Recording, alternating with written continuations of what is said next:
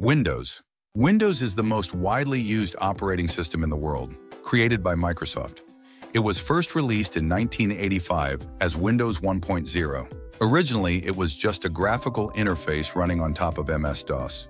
Everything looked very basic at first, but over time it evolved into a full-fledged operating system, with major versions like Windows 95, Windows XP, Windows 7, Windows 10, and now Windows 11.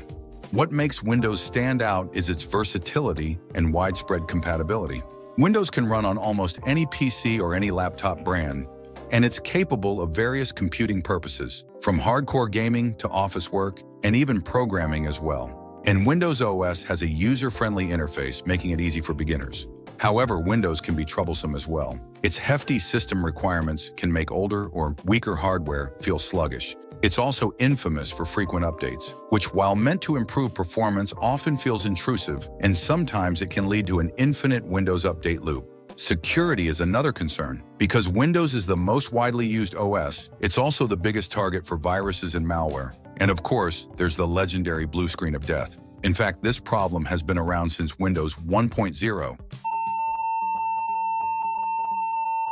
Mac Mac OS was introduced in 2001 by Apple as the operating system for Mac computers.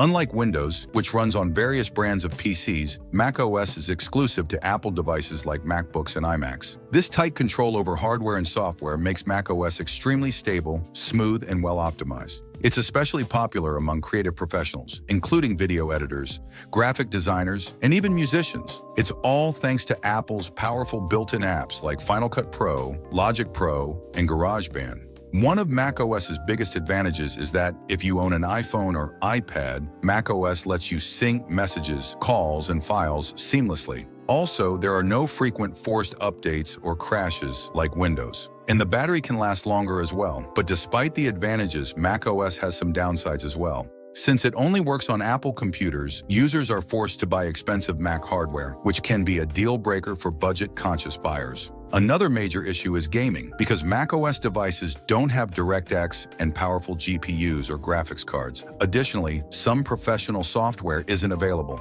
If available, it's a limited version. Linux. Unlike Windows or macOS, Linux is not a single operating system, but a family of operating systems known as distro or distribution. It was created in 1991 by Linus Torvalds, a Finnish software engineer who wanted to make a free and open source alternative to the other operating systems. Unlike Windows, which needs high system requirements, or the expensive macOS devices, Linux is lightweight, secure, and doesn't require expensive hardware, which is why it can run on many older computers in high-performance servers. And since it's open source, anyone can modify or build their own version of it, which is why there are many Linux distros. Some are designed for regular users, like Ubuntu and Fedora, while others are built for servers and professionals, like CentOS and Debian. This capability made Linux widely used for programming, cybersecurity, and server management. In fact, websites and some powerful computers of Google, Facebook, and even NASA's systems run on Linux servers. However, Linux is not beginner-friendly. Since it's very different from Windows and Mac OS, new users often struggle with its interface, especially because many Linux distros rely on text-based commands instead of graphical menus. Another issue is software compatibility. Most mainstream apps and games are built for Windows or Mac OS, so users need to find alternatives. So yeah, that's why people don't use Linux unless they're kind of experts. Chrome OS. Chrome OS was developed by Google and was first released in 2011 as a lightweight and cloud-based operating system. Unlike Windows or Mac OS, which rely on installing software directly onto a computer, Chrome OS is designed to work primarily with the internet, making it perfect for users who spend most of their time browsing, streaming, and using web apps. It comes pre-installed on Chromebooks, which are affordable and fast laptops and suitable for schools and office work. Chrome OS also boots up in seconds and has automatic updates in the background. It is also highly secure because most tasks are handled and saved on Google servers rather than on the device itself, meaning there's less exposure to malware or system corruption. It also has access to the Google Play Store, allowing users to install Android apps, making it more versatile than a basic web browser. But Chrome OS has weaknesses as well. Since it's heavily internet dependent, it doesn't work well without an active connection. It also lacks support for many desktop applications, like full versions of Adobe Photoshop or professional video editing software. They're also not ideal for high-end gaming unless you use a cloud gaming service like GeForce Now, which depends on fast internet as well. Also, you can't do heavy multitasking too, like opening Photoshop while doing video editing is nearly impossible. Android.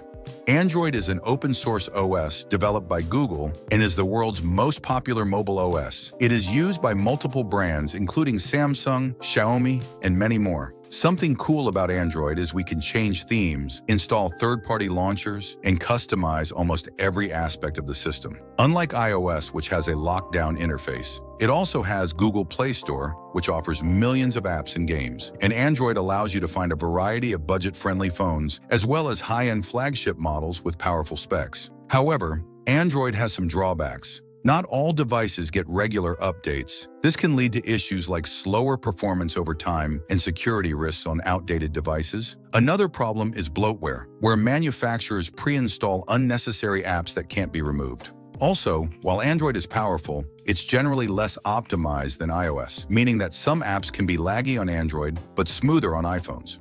iOS iOS was developed by Apple and is the operating system that powers iPhones and iPads. Unlike Android, which is open source and used by multiple brands, iOS is exclusive to Apple devices, giving Apple complete control over both the hardware and software. iOS devices are stable and have long-term software support. Even older iPhones receive updates for years. The App Store also offers a highly curated selection of apps, with many developers prioritizing iOS for new releases due to its higher security standards and paying user base. Additionally, the iOS ecosystem allows Apple devices like MacBooks, iPhones, iPads, and Apple Watches to connect seamlessly together. But iOS has its downsides. It is highly restrictive because users can't even customize their home screens as freely, install apps from outside the App Store, or easily transfer files without Apple's ecosystem. iPhones also lack expandable storage and a headphone jack, and iOS devices tend to be expensive, while Apple tends to reuse the same thing for multiple iPhone generations. Unix Unix is one of the oldest operating systems and the one that gave birth to many modern operating systems. Originally developed in the late 1960s at Bell Labs by AT&T, and it was designed as a multi-user, multitasking OS, mainly for servers and high-end computing. Unlike the popular modern operating systems, Unix is rarely used by everyday consumers. It's usually used to handle large workloads of big corporate servers, banking systems, and scientific research. For example, the National Weather Service uses Unix-based systems to manage and process massive amounts of meteorological data, which are essential for weather forecasting. By the way, Unix installation is very expensive at $1,407 for every user. This means that if you have a big company with 250 users, a full Unix deployment would cost more than $350,000. BSD, Berkeley Software Distribution, is a family of operating systems that originated from Unix, developed at the University of California, Berkeley in the 1970s. Unlike commercial operating systems, BSD is usually used by tech experts for servers, networking, and embedded systems rather than consumer laptops or desktops. Examples of BSD-based operating systems are PlayStation 4 and 5, Netflix's content delivery network, and also firewalls like pfSense and OPNsense. It's all because of BSD's efficient resource management and its ability to handle a lot of work. By the way, BSD has several versions, including FreeBSD, OpenBSD, and NetBSD,